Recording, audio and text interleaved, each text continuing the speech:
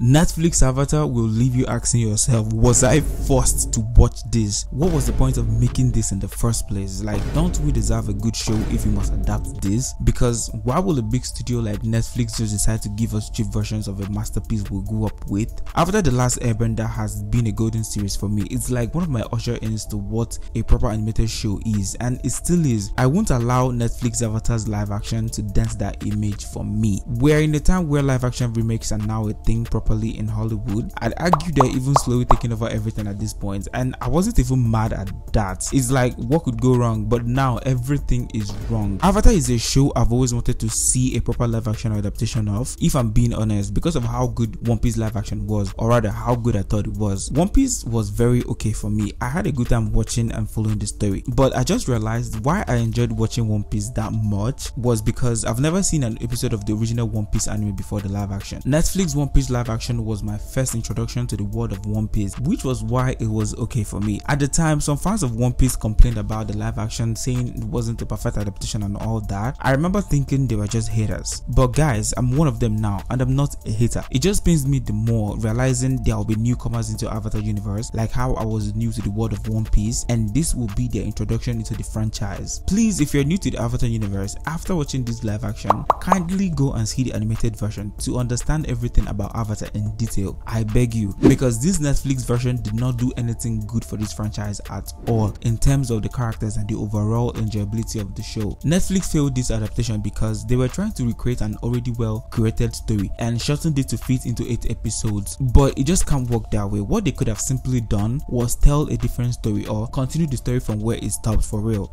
That way we can understand a little bit even if there were flaws, right? But taking a well created masterpiece and characters we grew up with to butcher into pieces is not acceptable. This Avatar live action is just baseless. There is no life into it. The dialogue between the characters is cheap and laughable. The acting is basic because half the actors were all acting as if they were all reciting scripts over and over. It's not motivating. There was no way I could relate to any of the characters because it's not even their life. They couldn't convince me that I could sympathize with what they are going through. I can't feel it, especially for Aang. I was looking for that Aang that basically doesn't take anything seriously. But this version of Aang is kind of like too serious for me. And this is no shade to the actors, but to the writers. They changed a lot of things that made each character unique. They took it, butchered it, and left out with basic cheap characterization. There were no proper character developments. It's as if the writers were like, since you guys must have seen the animated version, you guys have gotten the hang of it. Might as well just move on with the show.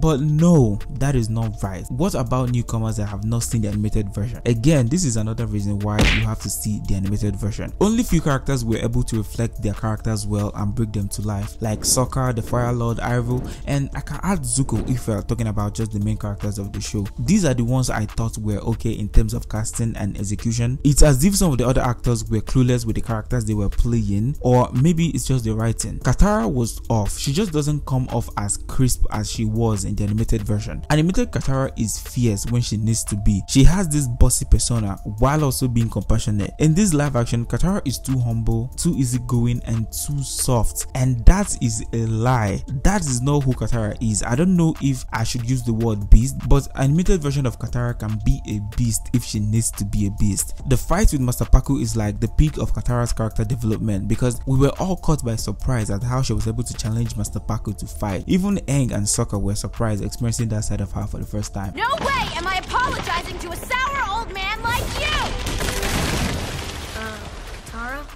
I'll outside if you're man enough to fight me.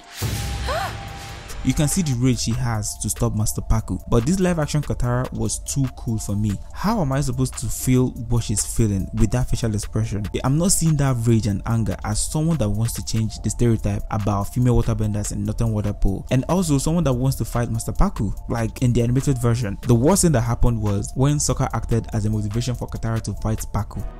Go kick his ass.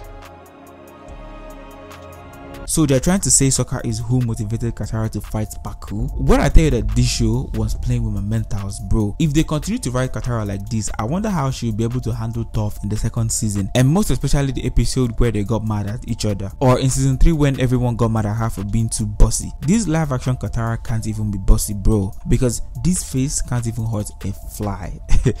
And it's funny when you realize they didn't even show one aspect of Katara that was super angry or mad throughout the show. Sokka was okay for me. I love the casting and the acting. The only bad thing about Sokka for me was his chemistry with Suki. It came off a bit cringy at some point, but what he had with Yue was more magical and authentic. I really enjoyed Sokka and Yue's chemistry. Azula was another flop. First off, it would have been okay if she wasn't in the first season, but since she's here, let's talk about it. Why did they write Azula to be so insecure? Azula was never known to be someone that is insecure in any way. It was all about her being there and being the dad's favorite because they are kind of like similar. But this version of Azula is insecure as all her motivation was on trying to surpass Zuko, which even resulted to becoming rude to the Fire Lord. The animated version would never. She was Ozai's favorite because she understands Ozai and respects him so much. But in the live action, she was rude to the Fire Lord and insecure of his love. It was as if Fire Lord was even playing games with the two siblings. And that's the big L to Ozai for real because the animated version of Ozai does not even have time to be playing game with his kids. Part of the reason why Zuko and Azula turned out the way they are. My only problem with General Iroh is how tall he is. The animated version of Iroh is obviously short, almost as if Zuko is taller than him. Anytime I see this live action Iroh and Zuko together and Iroh is taller, it just doesn't feel the same. I'm like, this can actually be one of the easiest things to do, getting a shorter actor to play Iroh. Paul did a good job playing Iroh actually, he was able to bring Iroh's vibe to life, but the show generally just messed everything up. And also this Iroh feels somehow younger compared to the animated version, or is it just me? Another big L for this Netflix avatar is Appa and Momo. With the way they market marketed them in the trailer, you think they are in the show. Bro, they're just something that exists in this show. More like Appa is just a ride for the team Avatar. No personal connections with the team whatsoever. It didn't even have much screen time. I can count how many times Appa was on the screen. The worst for me was when the team were leaving Kyoshi Island. They were just showing Appa's tail as he was flying off and people were waving. I'm like, what are you guys even waving at? Appa is one essence in the animated version that kept things refreshing. I was always intrigued with the creature and wanting to see more of it often because I've not seen anything like kid before. I believe I'm speaking for everyone when I say we all wanted to ride on Appa anytime we see the team flying on it, but Netflix version didn't even regard Appa much for we viewers to even want to ride on it. In the case of Momo, bro, I must have forgotten that Momo exists and all of a sudden Momo will just appear on the screen and it's like, oh, you're here. They don't even give Appa and Momo any personality. They were just something that existed. Well, if a show doesn't treat you as a character, how will you even have a personality? The show lacks composition. They are not consistent with a lot of things. For example, when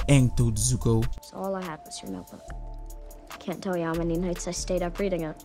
You can tell that this was just a script line because why couldn't they at least show one time Aang was using the notebook in question? Only references. Everything just feels super fast paced and rushed. It's like what's the point of live action if you won't give it what it needs to be a masterpiece? Some of the fight scenes were bad. It was as if they were a hit me I hit you game. They were slow and low-key annoying but all the bending looked great. I will give them that. They actually got some things right like the world building. Omashu looked so good. The North Water Pool, the Fire Nation, Zuko's ship all looked great great with amazing details. The costumes were alright and most of the castings were spot on. Season 1 was supposed to be a perfect usher into this live action adaptation, but it failed woefully. Maybe season 1 can be excused because it's the first installment, but these things don't justify any of the atrocities and character butcherings I had to endure guys. This live action made me realize that Avatar The Last Airbender can never have a perfect live action because if Netflix couldn't do the job, I don't know who else can, but that can be a stretch. If you made it to this level of the video, you are the real MVP. I really appreciate you watching my videos. Let me know what you think about Netflix Avatar adaptation.